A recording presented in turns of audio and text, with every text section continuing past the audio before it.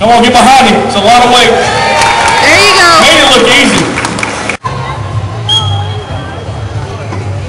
Get behind Ryan. 345 pounds.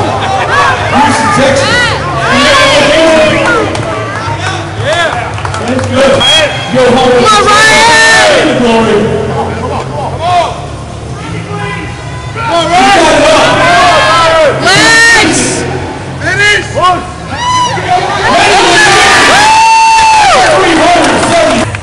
Event separates first and second place for the overall heavyweight win.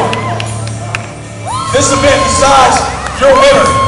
I think he wants it.